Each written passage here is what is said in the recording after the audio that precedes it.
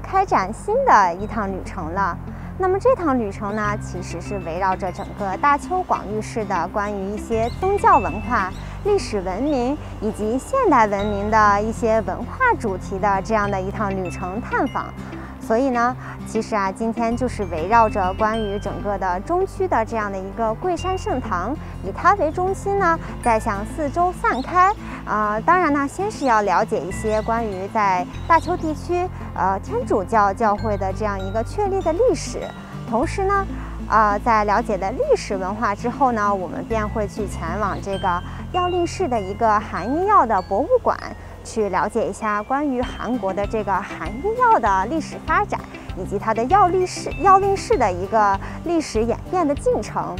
那么，在我们了解了关于宗教和整个的药令式文化以后呢，便会去前往到这个北城路。其实北城路啊，相对于东城路啊，它是一个比较具有对比意义的这样的一个存在。我们知道啊，东城路是现在整个大邱市的一个呃经济呀，或者说是时尚文化的一个中心地了。那么其实当时北城路啊也是这样的一个存在。在北城路啊，我们可以看到关于非常多的日治时期啊，以及整个近现代的工业发展的一个历史的遗迹。那么在了解完这个北城路的这样的一个近代胡同的历史以后呢，我们呀便会去前往下一个目的地，也就是。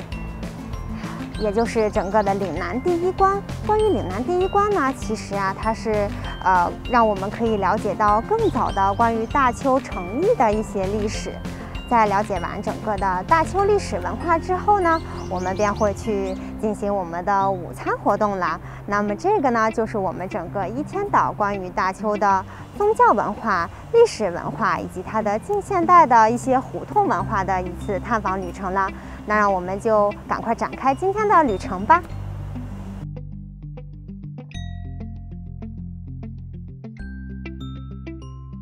我们现在来到的就是我们今天旅行的第一站圣母堂。圣母堂呢，其实是整个天主教大邱总教区的一处朝圣的圣堂，也就是我们身后所见的这一座圣堂了。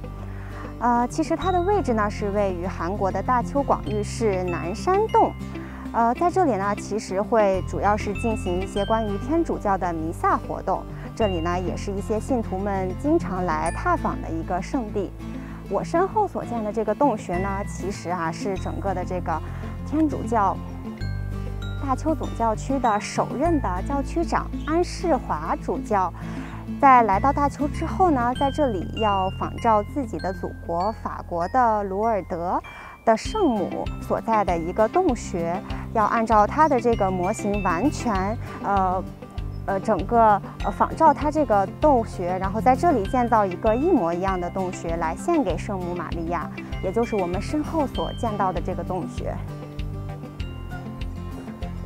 整个这个洞穴呢，其实是和法国的罗尔德圣母所在那个洞穴是一模一样的。我们肉眼可见，是从整个的右侧深入到内部以后啊，打了这样的一个洞穴，然后呢，呃，是利用这个比较坚硬的花岗岩作为基础，将圣母玛利亚像侍奉在里边。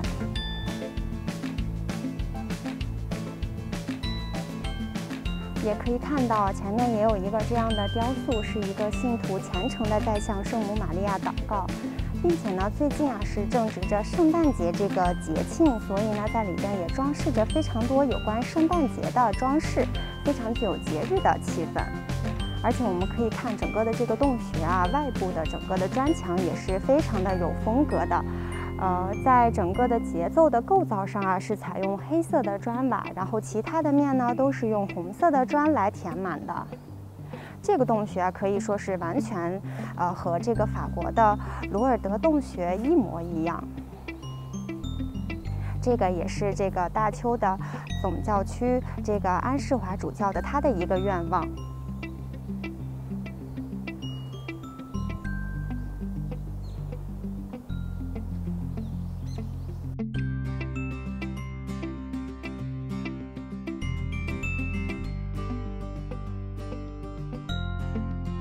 可以抬头向上望啊，整个建筑的这个最上边刻印着一些符号。那么我们可以看到最前端的这个一九幺幺呢，它是也是有着自己的含义的。其实一九一一呢，是象征着整个天主教的大邱地区的这个主教堂在这里确立的这样的一个年份。然后中间的那一串文字呢，其实啊，它是拉丁语，它的名它的意义呢，就是呃圣母无染原罪的意义，也是非常具有这个宗教的含义。再往后看啊，后边这个。写着一九一八，这个一九一八啊，其实它也是一个年份，它呢就是这个圣母堂所建成的这个年份了。整个圣母堂的修建其实花费了整整一年的时间，从一九一七年开始，一直到一九一八年最终落成。大家可以顺着我们的镜头再往这边看啊，这个区域呢，其实也是整个呃信徒们进行弥撒祷告的这样的一个地方。就是，也就是在今年的这个高考时节啊，有非常多的这些信奉天主教的信徒们来到这里，为自己的考生子女进行一个祈愿，然后也会在这里呀点上一个彩色的蜡烛，放在这里，对圣母玛利亚进行一个祈愿。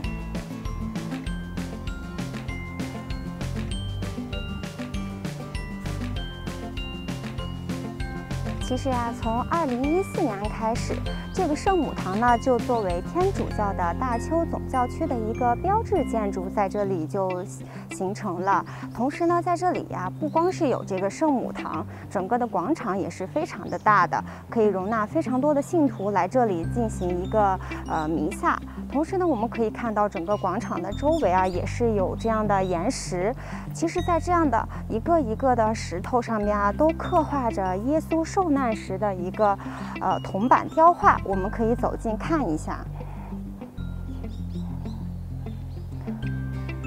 头上戴着荆棘的这样的一个花环，然后扛着十字架在前行的一个耶稣的铜板雕刻画。在整个的这个圣母堂围绕着它的这个是，呃，步道上全部都是这样的岩石。当然呢，我们说圣母堂啊，其实是它非常具有天主教的这样的一个宗教色彩。呃，不光是有非常多的信徒来这里进行一个弥撒，纷至沓来，同时呢，也是在这里会举行非常多的有关于天主教的一些庆典仪式活动，以及一些呃关于宗教的仪式。啊，同时呢，也是非常多的外来的游客呀，以及甚至是国外的游客来这里，怀抱着一个好奇心来圣母堂进行游览，也是有非常多的游客会进行这样的选择。当然呢，呃，会在关于这个呃总教区的一些呃教主啊，或者是他们的一些使徒啊，对他们进行一个庆典或者是以欢迎仪式的话，也是都会选择在圣母堂进行举办的。所以圣母堂啊，在这个天主教的宗教的这样的一个呃宗教的教义上啊，非常具有重大的意义。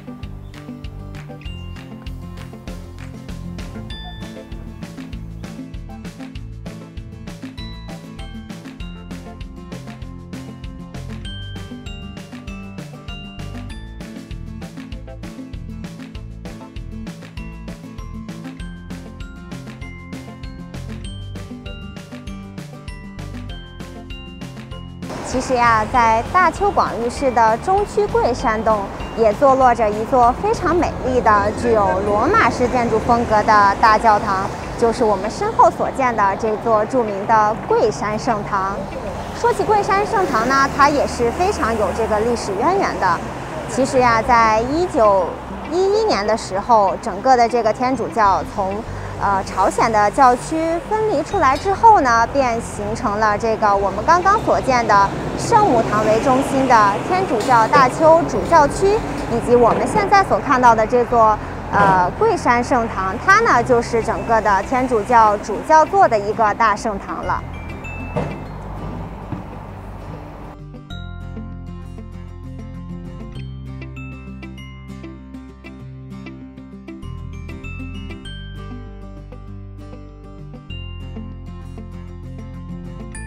们现在眼前所见的这座桂山圣堂啊，其实并不是它当初初建时的模样。那么现在就要为大家介绍一下关于桂山圣堂的历史了。其实早在一八八六年的时候啊，在整个大邱地区进行宣教活动的一位神父，呃，也就是罗伯特神父，他呢就立誓要在大邱地区建座这样一座圣堂。所以呢，他就在一八九九年的时候啊，选择在这个呃大邱的这个桂山洞这样的一个腹地建造这个圣堂。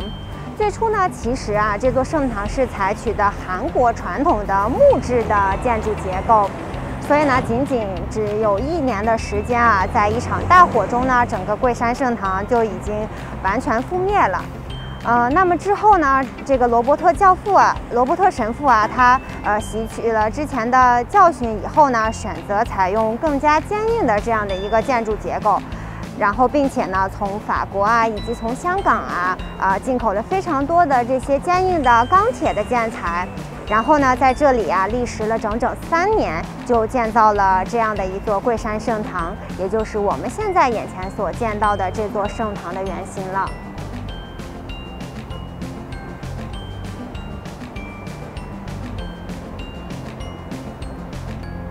当然呢，在来到圣堂面前啊，这样的一座这个呃提示碑上，也为我们介绍了关于这个圣堂的历史。整个的这个建筑呢，其实啊，我们可以看到，它虽然是罗马式的这样的一个教堂，但是我们看到它的这个廊檐以及它的彩色玻璃啊，明显的具有的一个哥特式的风格。所以呢，这个建筑啊，也就是呃，在这个继首尔和平壤的建筑建成的呃之外呢，它就是第三个具有哥特式风格的罗马建筑的圣堂了。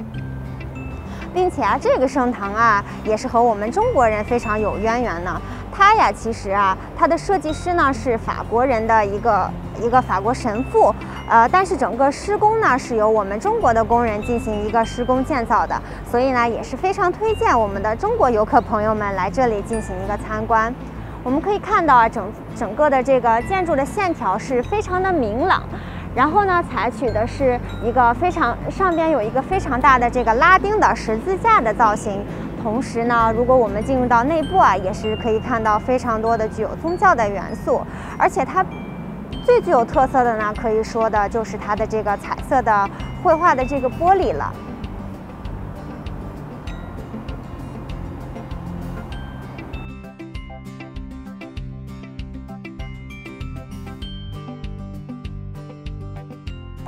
刚才介绍到啊，整个圣堂呢是总共历时了三年建成的，所以它的竣工时间呢也就是一九零二年，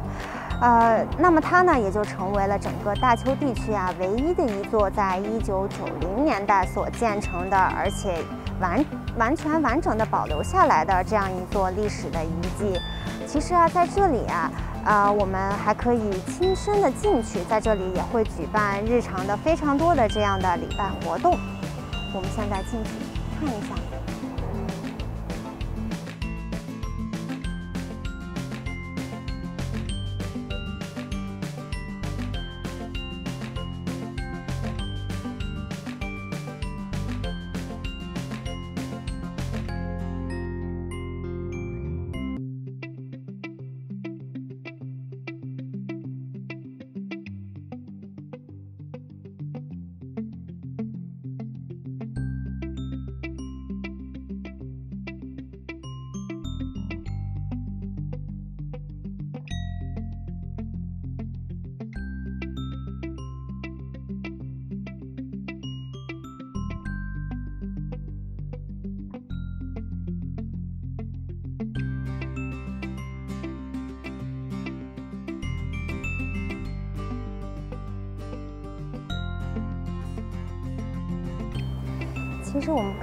到，整个圣堂的内部啊，它的装饰是十分别致的，并且它的建筑风格啊也是特别的，而且啊，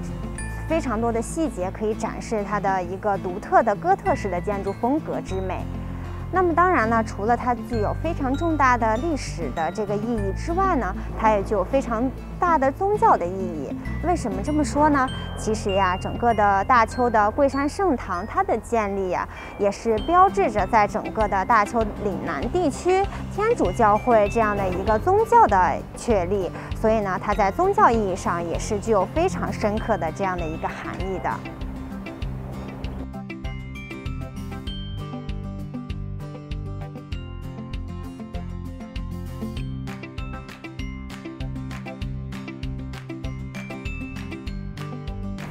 接下来呢，我们便要来了解一下关于韩国韩医药的一些历史了。那么我身后呢，就是我们即将要到达的这一站了，就是整个的药令市韩医药博物馆。现在呢，要穿过的这个石门啊，它的名字叫做不老门。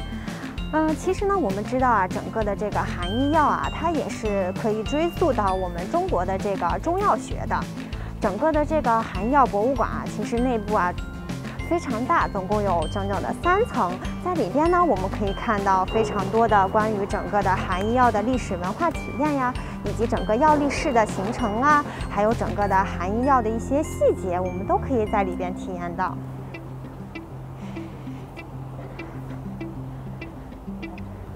看到前面这个大大的这个标志，上面写着中文的繁体字，就是药林市场韩医药博物馆。然后整个广场啊也是非常的广阔呢，同时啊可以看到身边非常多的关于这个韩医药的这样的元素的造型。我们现在就进去吧。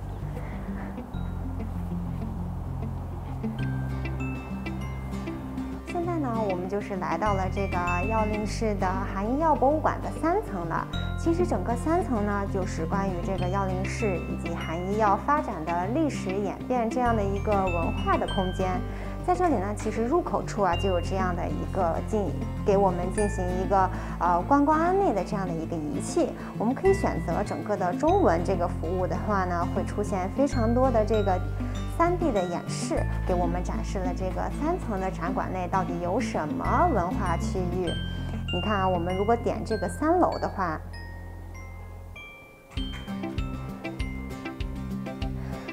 整个的这个平面图就为我们展示了。在这一方向呢，有这个韩医药的展示区，我们可以点击进入，在里边为我们介绍了非常多的韩医的一些植物啊、一些药材的一些说明。然后我们再看整个的另一个区域，药令市的历史文化展示区，为我们介绍了整个药令市的历史发展的过程。以及这个药典胡同的展示区，为我们介绍了整个药令市的它一个长达呃三百多米的这样的一个胡同里边啊，有着非常多的药材的商铺，以及整个药令市的过去和未来的展示。现在呢，我们就前往到整个三层的这个展厅进行一下观看吧。实大家可以看到我身后啊。用这个漫画的形式为我们展示了当时历史的，也就是朝鲜时代这样的药令式的一个街边的场景。同时呢，地上也有这样的体验，就是我们可以看到，这个呀就是进行碾药的这样的一个道具。我们再往前走呢，整个这块区域啊，就是介绍了关于大邱的药令式的历史发展。然后再往这边呢，整个啊就是一个大邱幺零式的发展的年度表了。其实啊，可以追溯到整个的一六五八年，也就是当时的朝鲜时代，距今啊已经具有了五百多年的历史。然后再往前呢，前面告诉我们大邱药令市的起源，它其实是有非常多的说法的，比如说大势说啊、中国朝贡说啊、日本进口说啊，以及大同法说啊。这些啊都是非常多的这样的一个药令市诞生最初诞生的这样的一个说明。我就拿这个中国朝贡说这一方面来说的话，在当时啊，就是呃，在大邱其实有非常多的名贵的药材，在这里啊，由于这个呃天时地利是非常好的，所以呢。朝鲜王朝啊，会选择在大邱进行选拔这些比较优质的药材，然后朝贡到中国去。所以呢，也就是说，在药令市进行这样的一个筛选工作，这个啊，也是大邱药令市兴起的一种说明。然后图片上展示的都是当时真实的历史现状，这些布袋里边装的全都是比较精美的优质的汉方药材。接下来我身后的这一块区域啊，其实是为大家展示了从一九一零年代那一个年代的整个药典街区的景象，非常仿真。我们可以看到啊，街边还有挂着这样的韩医药材，包括上面的布袋啊，也是写着中文的，青蒿啊、附子啊、桂皮呀、杜仲啊，这些都是非常著名的这个呃寒医药材。同时呢，我们可以看到这个街边立着的这样的和我们这个中医里边非常相像的这样置放这个药材的木箱。我们再往后继续看，也是有这样的呃。药师在为这个生病的病人进行的问诊，似乎也是非常像我们中医里的这个望闻问切。他现在呢，就是在把脉，然后在这样的土灶台上啊，也有着这样的容器在煎药。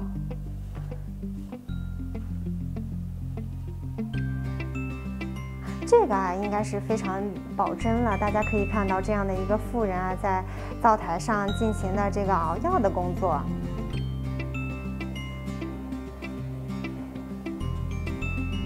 这个区域呢，可以看到有两个也是妇人啊，在进行的药材碾制，把整个的这个大的非常呃粗壮这样药材碾成这样比较细碎的形状。整个墙上陈列的也都是非常具有那个历史气息的这样的一些药材。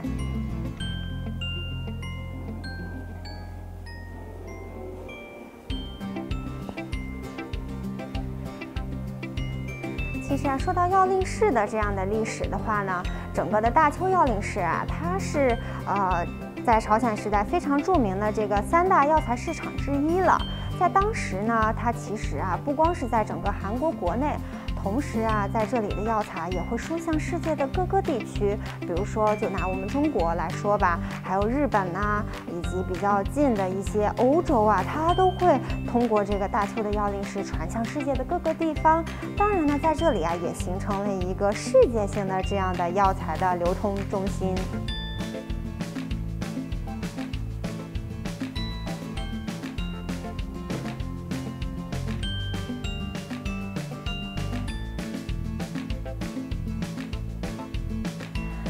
看到，整个这幅墙上画着的是不同的呃人种、职种，他们穿着的衣服啊，其实也是有区别的。比如说药师啊，以及一般的一些呃药材的收集的人呐，以及关于药材的这样的一些官员阶级，都会有不同的展示。往这边看呢，其实啊，这里啊陈列着非常多的关于这个当时的药令市一些使用过的一些历史的遗物，这种秤砣啊，以及古代的那种秤的把手啊，以及当时的药钵啊，都是非常非常的具有历史的气息。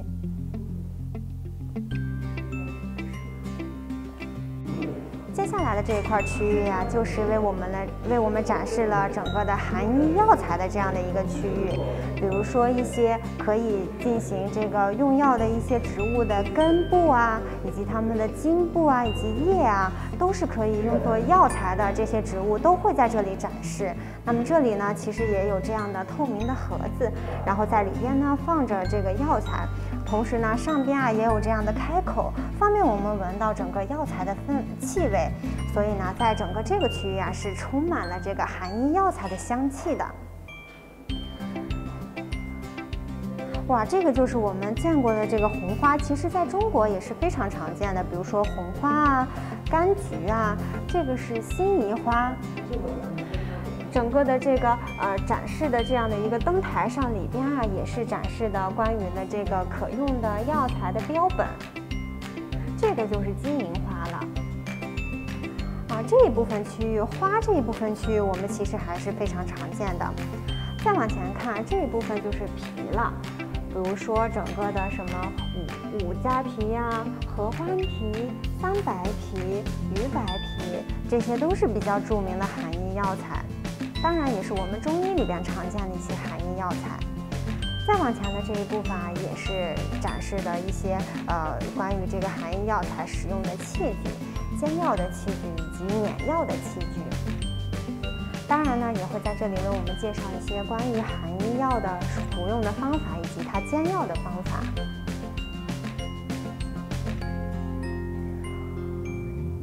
这个橱窗里介绍的就是朝鲜时代的这些官方的医药书籍了。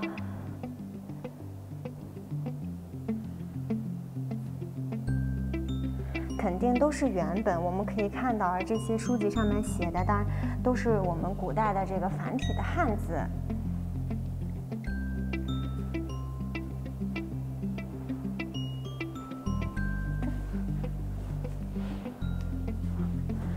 这边这一块区域呢非常有意思。我们知道啊，在中医，不管是在中医还是在韩医里啊，一些动物的身体部位也是可以用作药的。所以我们可以看到这个展台里啊，就是关于一些鹿的，比如说鹿茸、鹿角啊，用作药的一些部位。这个很大的鹿角，哇这个是梅花鹿哎，这么大一个鹿茸。哇，在这里呢，也是有着非常多的，比如说，呃，穿山甲的这个甲甲壳，以及一些乌龟啊、蛇啊，它们都是可以用作药用的，也是非常有意思呢。来到了这个韩医药博物馆的三层啊，在这里不光可以了解到关于药令式的历史、韩医药发展的历史，同时也可以亲眼看到这样真实的可以用作入药的韩医药材。这里还展示着可以进行药用的这些动物的模型。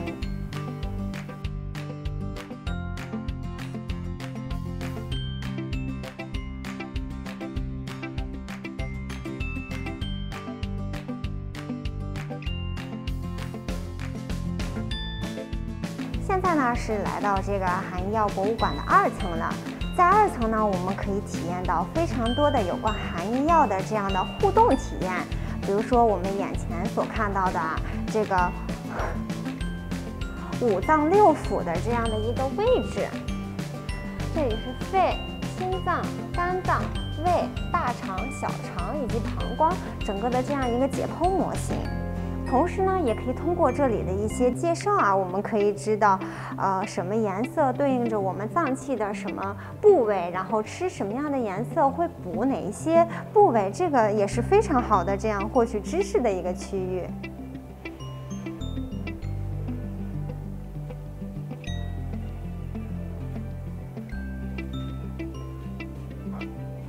在这里啊，也会进行一些科普知识，告诉我们人体的五脏六腑工作以及休息的它的时间表。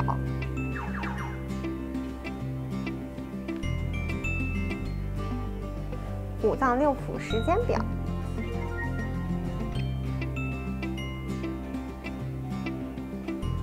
我们来看一下上午的九点到十一点吧。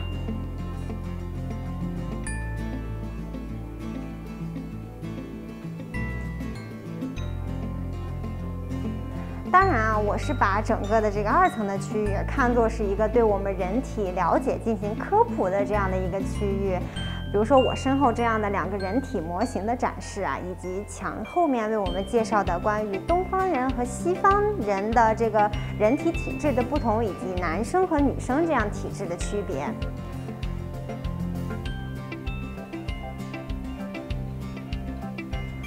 这是什么呀？五方色之调色选项。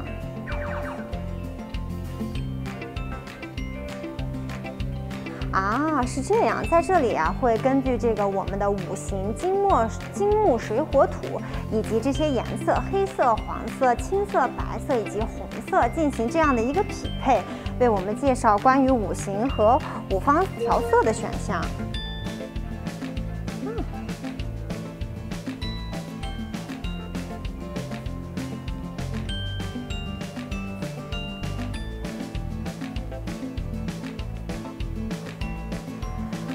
不光可以了解到我们的这个身体的五行啊、经络啊、内脏啊，以及身体体质啊，当然在这里也可以进行非常多的体验。比如说在这里啊，我们可以进行一个制作韩方的香皂啊，以及制作韩方药材的口红啊、胭脂啊这些非常多的体验项目。同时啊，在这里还可以进行一个韩方的足浴体验，也是非常值得的。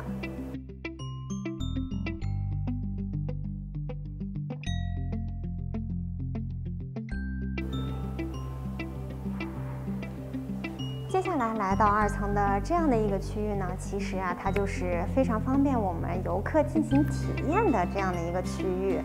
然后我们可以看到关于这些啊韩医药博物馆的这样的一些介绍啊，有了这样介绍啊，其实大家浏览非常的方便。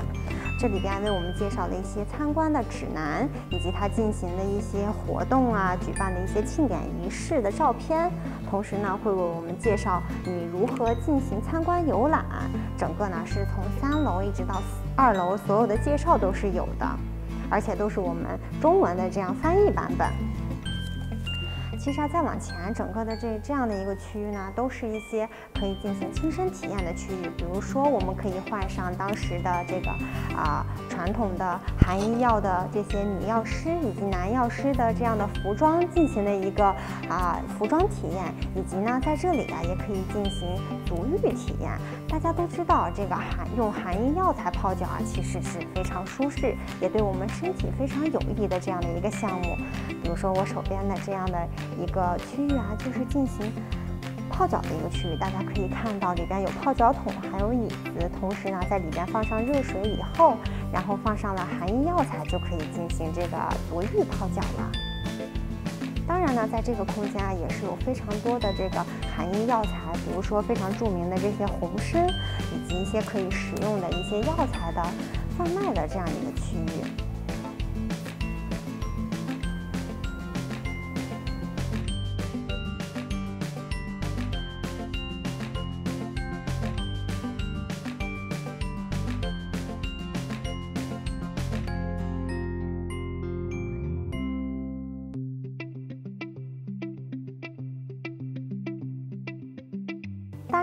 相信大家也都知道啊，呃，在冬天进行足浴，或者是啊用这个寒药材进行这个足浴体验啊，是对我们比如说神经衰弱啊以及失眠啊这些症状都是可以改善的。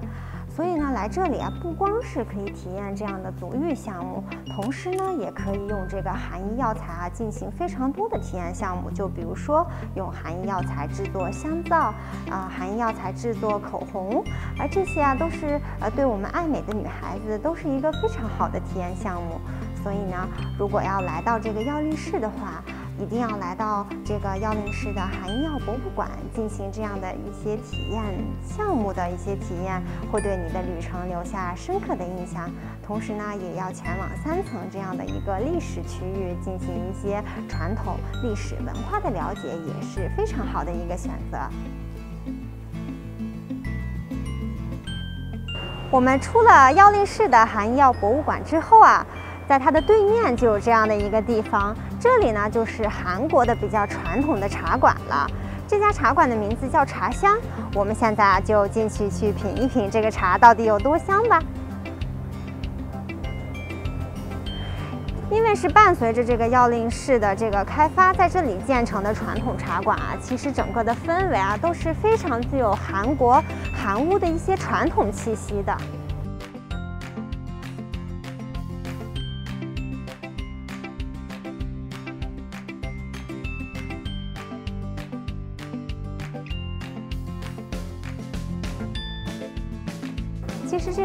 茶馆啊，也是伴随着大邱的中区的这样一个都市再生的一个项目，在这里建成的这样的传统的茶馆。那么我们可以看到，这个呃墙壁上也是写着大邱中区近代路的旅行。其实呢，也是围绕着这个胡同旅行来进行的一个项目。在这里呢，不光可以体验到传统的韩国的一些茶，比如说什么大枣茶、菊花茶、双花双合茶呀，非常多的这些选择。同时呢，也是一个非常治愈的一个过程。在这里啊，不光可以进行一个旅行，还可以进行一个品茶活动。同时呢，对自己的身心以及灵魂啊，也是非常好的一个治愈。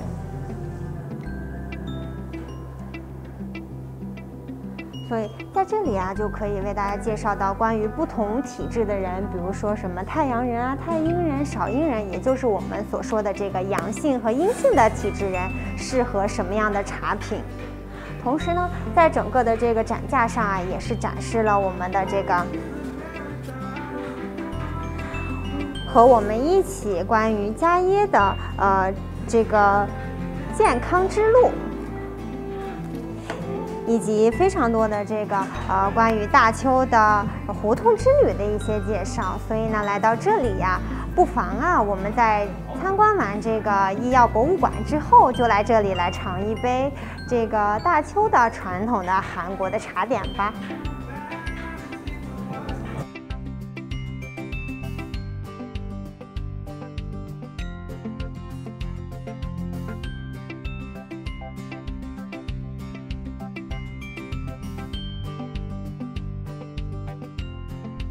其实啊，来到这个茶香这样的传统茶馆呢，不光我们可以体验到传统的美味的韩国茶，同时呢，在它的二层啊，也有这样的非常治愈的这样的一个空间。我们可以听到，在整个音响里放出的就是潺潺的流水声，以及山间的鸟鸣声。在这样的环境中呢，其实在这，呃，可以坐上这样的按摩椅，然后闭目养神，身心得到一个放松。同时，按摩呀，对你的身体也是一个非常的缓解我们压力的一个方法。所以，我就非常推荐大家来到茶香，来品一杯茶之后呢，上来二层来体验这样的一个治愈我们灵魂的体验项目呀。嗯嗯嗯嗯，他怎么躺下了，宝宝？然后呢？他要干什么啊？他干什么啊？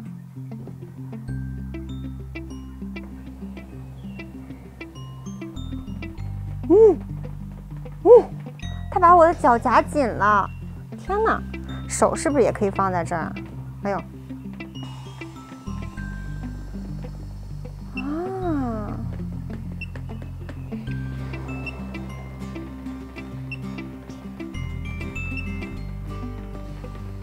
是这样的，它在里边啊充满了非常多的这样自动的一些机关和气囊，然后根据这个屏幕上显示的这样的一些穴位点位，都可以进行一个按摩。现在可以看到这个屏幕下边啊，这两个穴位，然后以及对我的背部进行的一个按摩。呜，现在已经按摩到这个髋部了。啊，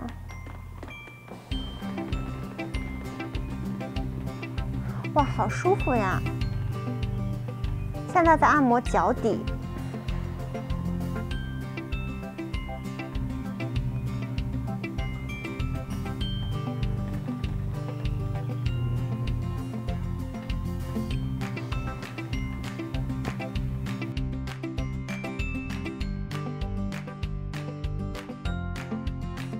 我们现在呢，就是来到了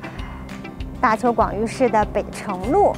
这条胡同呢，其实就是北城路著名的工具胡同了。然后在街的两排啊，都林立着五金的商店，可以看到非常多的关于这些我们施工啊，或者是在建筑施工的工厂上可以非常容易见到的一些工具。其实呢，如果不了解北城路的历史，如果你不了解大邱的历史的话，你可能对这条胡同非常的陌生。呃，关于北城路工具胡同这条胡同的诞生历史，其实是这样的，在这个呃，在一九四七年以后啊，整个的韩国这个光复运动以后。然后，呃，驻扎驻扎在在韩国的这些美军啊，他们都离开了以后啊，留在这里的一些工具呢，就是由一些韩国当地的五金商人聚集在北城路这条街进行的一个售卖，所以呢，在这里啊，也就开了非常多的这样的工具的店铺。啊，虽然呢，现在我们也知道，在这样的网络时代，网上购物已经非常方便了，但是还有很多的市民啊，他们会选择来到这条古老的工具胡同来选择购买一些五金工具。这呀，就是这个北城路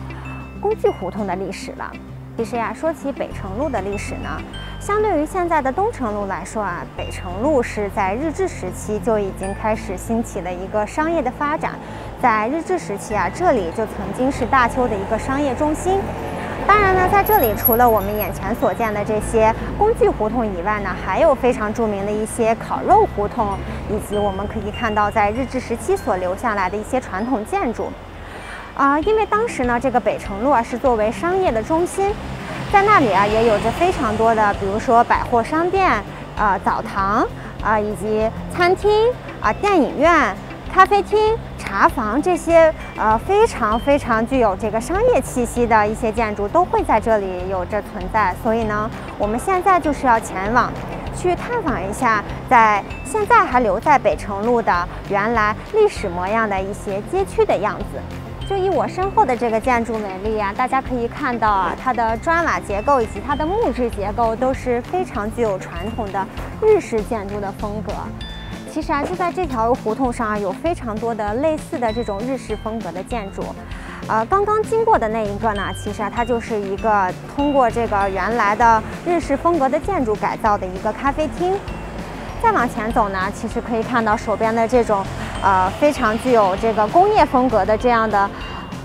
牌匾。所以说呢，在当时啊，在这里也有着非常多的呃工厂。那么现在呢，由于这个工厂工业区的搬移啊，也是有很多的商家在这里入驻，将原来的工厂改造成了非常呃具有旧工业气息的咖啡厅。当然呢，虽然说在日治时期呢，呃，回忆起来啊，对韩国来说也是一段非常屈辱的历史。但是屈辱的历史终究它也是属于历史的，我们就要用这些历史来提醒我们自己，要我们反思历史，铭记历史。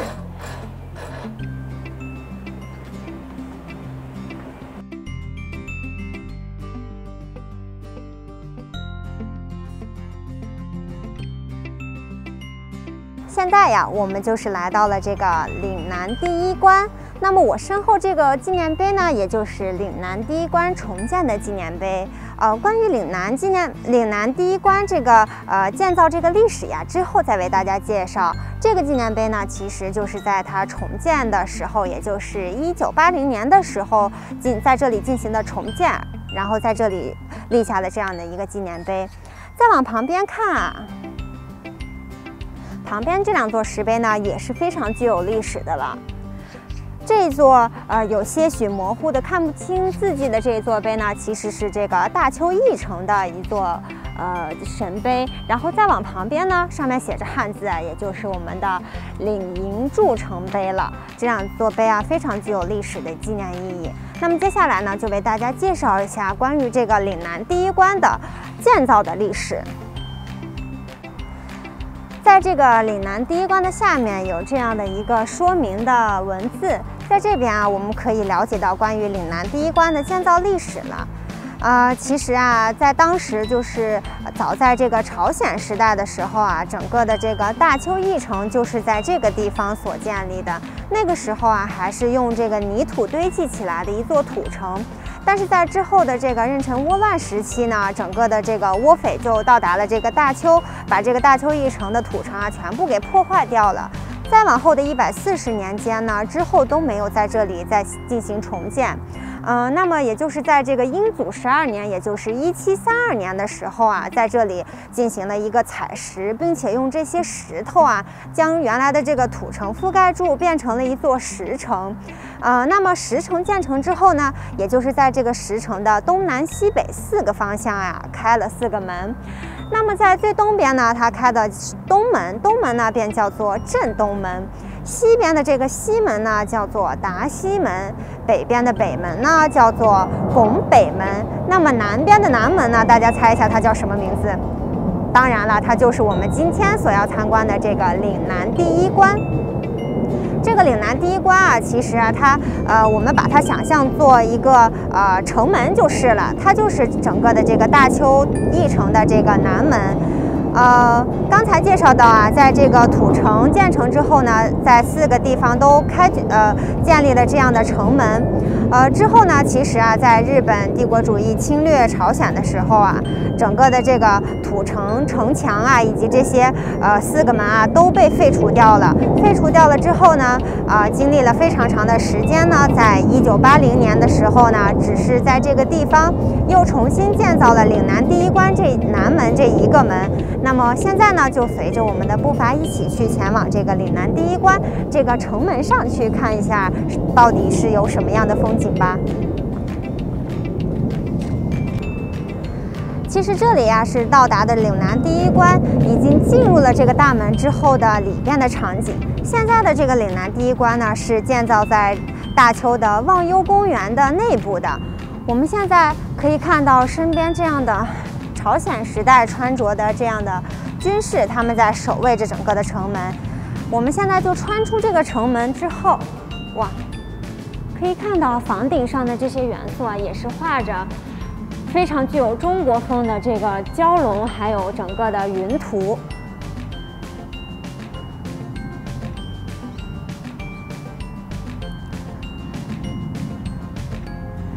其实来到这里呀，这里才是真正的这个岭南第一关的入口处，这个才是它的南门的正门。我们可以往上看呀，整个的这个城门是非常的雄伟壮阔，非常的高大。这个呢，也是呃在重建的时候啊，也是比之前呃历史原型更加雄伟，建得更加壮阔。可以看到这个牌匾上写着“岭南第一关”，这样呢，就有人就给人一种呃身在中国的这样的错觉。然后再往上看，上边的那个牌匾啊，上面写着“洛瑞楼”。洛瑞楼这几个字呢，也是非常讲究的。其实我们知道啊，整个韩国的这个洛东江是流入到整个大邱的这个区域，所以这个“洛”呢，就是采用的洛东江的“洛”。这个“瑞”呢，也就是有着一个祈求祥瑞的这样的一个寓意，所以呢，又把这座城楼啊叫做洛瑞楼。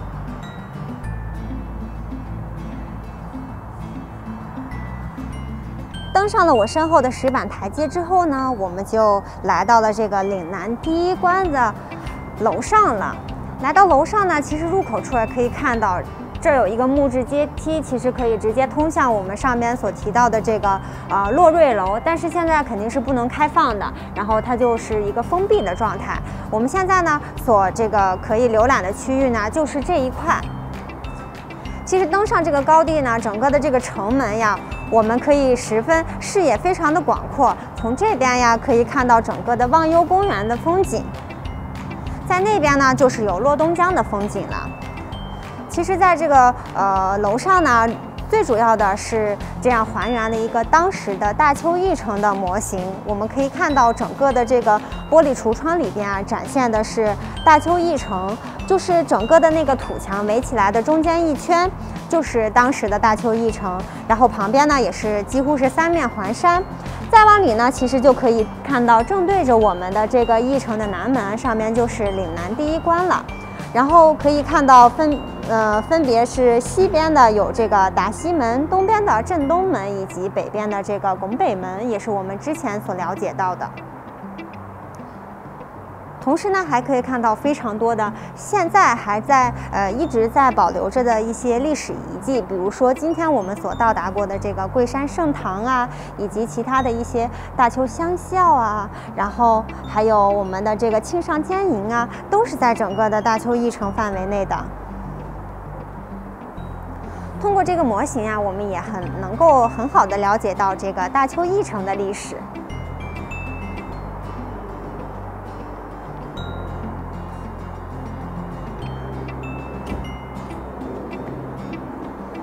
登上这个展望的这样的一个木质的台阶呢，我们就可以看到眺望到对面的风景了。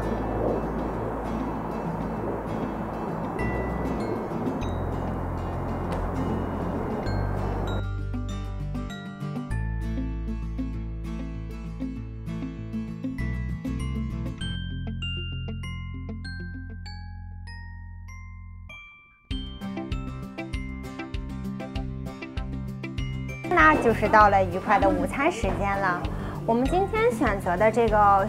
呃，吃午餐的这个餐厅呢，其实啊是距离我们的这个岭南第一关不远的东村游园地附近的这样一家餐厅。这家餐厅呢，其实啊真是大有来头。我们可以看到这个室内的装潢啊，其实非常具有复古的气息。其实这家店呢，已经开了有三十多年了。它呢，就是被称为这个元祖。猪排的这样的一家店，这里呢就是一个炖的这样的一个猪排，在里边呢都是排骨，为大家展示一下，都是这样的非常诱人的这样的大排骨。然后呢，同时啊，我们知道在韩国饭店吃饭啊，当然有他们的这样的呃饭饮食的这样的礼仪，比如说就是这样的小菜会非常的多。我眼前这个呢，就是腌的这样的呃菠菜，然后呢，这个是黄豆芽，这个呢就是我们非常常见的洋葱。当然呢，还有著名的韩国的泡菜了，以及蒜，因为吃肉的时候大家都会就蒜嘛。然后这个酱呢，就是韩国比较著名的这个包的蘸酱，包肉的蘸酱。旁边呢也会给上这个篮子里的青菜。当然呢，除了生菜之外，还有比较著名的韩国人非常喜欢的紫苏叶和这个呃青阳辣椒，呃。当然了，不能忘记的就是我眼前的这一碗了。这一碗呢，其实它是用这个黄豆芽熬制的清汤，它呢不是热的汤，是冷的汤，是为了解这个炖排骨的辣味儿。我现在已经迫不及待了，我想替大家尝一下这个排骨的味道。这个排骨颜色非常的好看，而且他家排骨呀有。一个特色就是里边啊几乎看不到泡菜的样子，配菜的样子，几乎全部都是肉，每一块都是大大的排骨。我要尝一口排骨了。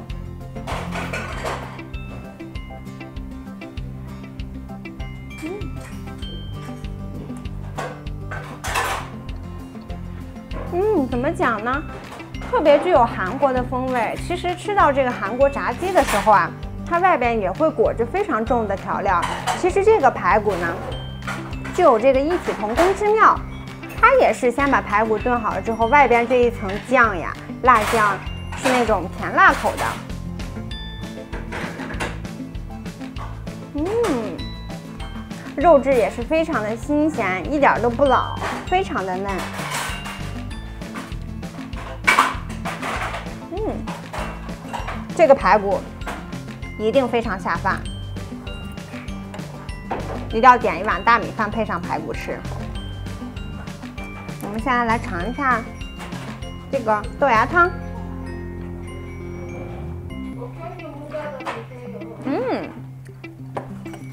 非常的清甜爽口。这个豆芽汤啊，可配可谓可以说是跟这个排骨啊，真的是绝配了。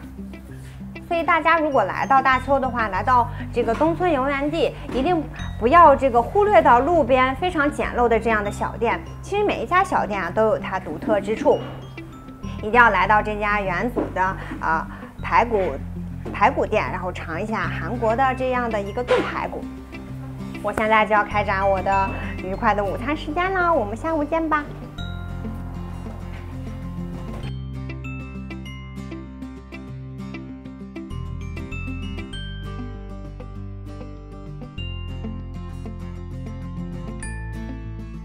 吃过午餐后呢，我们选择了一家咖啡厅，来这里度过一个美好的午后时光。那么这家咖啡厅呢，其实啊，就是我们刚才吃完饭的那家炖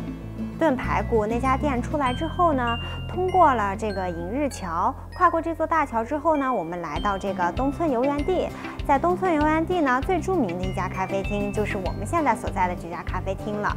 这家咖啡厅的名字呢叫做 Inspiration D 啊，当然呢这是它的英语，中文其实翻译过来 Inspiration 呢，对于我们来说就是灵感这一个词。那么我们点单的时候呢，其实服务员会给我们这样的一张卡片。其实啊，这张卡片上面介绍的呢，就是关于这座咖啡厅它的一层到三层的这样的一个建造的理念。嗯，它的一层呢叫做灵感的源泉，然后在一层呢包括是一个服务的大厅，以及我们的点餐台和那个取餐台，啊，当然呢也有一些座位。同时呢，在一层的室外呀，也是有非常多的在室外开放式的座位，我们可以在外边进行一个喝咖啡的一个活动，同时呢也可以在室内。当然呢，这是一层，二层呢它的。建设的这个灵感呢，其实是啊灵感的流动啊。关于二层呢，其实其实要呃给大家说的非常特别的一点呢，它不光是有像一般咖啡厅这样的座位，它其实啊建造的更像是一个阶梯教室，或者说是呢是一个展演厅，就是那样呃呈一个阶梯状的一个座位的嗯形状啊，然后正好呢是面面向着我们眼前的这个。秦湖江，啊，坐在二层的话，我们就可以坐在那个高高的台阶上，用来俯视整个的秦湖江面，还有江边的风景，是非常别致的一个空间。那么介绍完二层的这个灵感的流动之外呢，就是我们现在所在的三层这样一个区域了。三层呢，它其实啊是以这个灵感的吸收为主题。呃，其实我觉得这里更像是一个艺术氛围的这样的一个熏陶的场所啊。为什么这么说呢？其实啊，在三层整个的设计啊，都是采取这种圆形的形状，比较圆润。呃，而且呢，同时啊，在上面有非常多的，比如说 CD 机啊、钢琴啊这样的音乐的元素在这里。在这里呢，同同样视觉上都是我们肉眼可见的这种粉红色啊、玫红色啊，都是嗯非常暖暖的这样的一个色调。所以整体来说呢，整个的它三层的这样的建筑理念啊，就是这样以这个灵感为主题，也是比较呃煞费了设计师的苦心。同时呢，选择在东村游园地呀，坐在这儿的话，嗯，非常好的就能够看到我们对面这个呃秦湖江上的风景。特别是夏天的时候啊，还可以看到游客们会乘坐这个鸭子船、电动船或者是脚踏船，在湖面上啊自由的这个呃游荡啊、浏览啊，或者说呢，在夏天的时候也会看到非常多的骑行客。嗯，同时呢，也有很多的呃市民们选择在这里进行一个周末郊游，或者是一个呃午后的一个出行，都是非常好的一个去处。然后可以看到这个江边也有非常多的树木。嗯，在这里进行一个休憩，一定是一个非常好的选择。那么再说回我今天点的饮品吧，就是，嗯，这个呢就是普通的一个美式冰美式。然后呢，我也是选择了一个少女心的一个粉红色的马卡龙。这个呢就是我点的一杯草莓的呃汽水了。太美了，这个配色，整个下边呢是草莓的果酱，然后中间呢就是汽水的部分，再往上呢还有草莓的颗粒，做的这么好看，我都不忍心尝它了。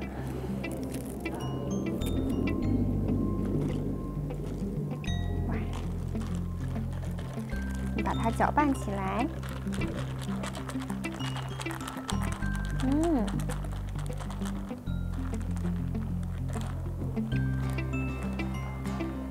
看见这些气泡，它就是我的充电器啦！我要用它来给我充充电。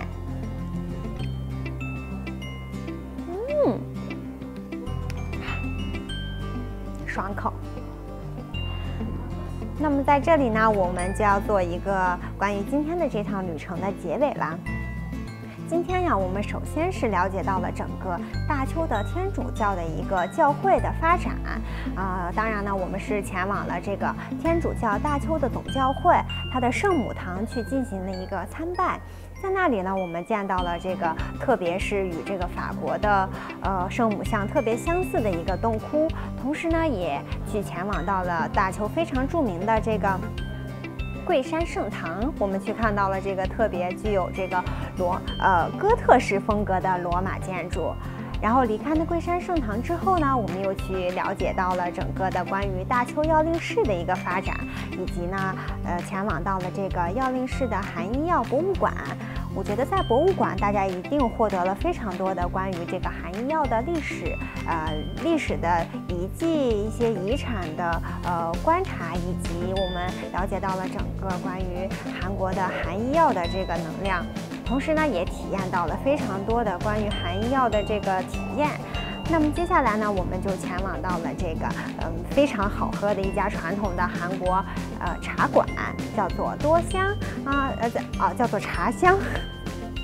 在茶香里呢，我们喝到了非常传统的这个韩国的茶点，以及呢还在茶香的这个二楼啊体验到了呃非常具有这个治愈功能的这样的按摩椅的体验。那么接下来呢，我们就又前往到了一个呃非常具有现代风格的一个胡同，那就是北城路了。在北城路呢，我们在街边啊，其实看到了非常多的关于日治时期留下来的建筑，同时呢，也是在整个的这个北城路的工具胡同进行了一圈游览。离开了北城路之后呢，我们便前往到了这个岭南第一关。在岭南第一关啊，其实看到了整个非常雄伟的一个城门的建筑，同时呢，我们还登上了城门，眺望了整个的城市的风景，也了解到了这个大邱的翼城的风光，啊，在历史上的风光。那么离开了这个岭南第一关之后呢，我们便展开了愉快的这个午餐的时间。午餐呢也是尝到了韩国特具风味的这个炖排骨。那么接下来呢，我们就要跟今天的旅程道一声再见了，然后就要度过我们美好的下午时光了。也欢迎大家来到大邱游玩哦。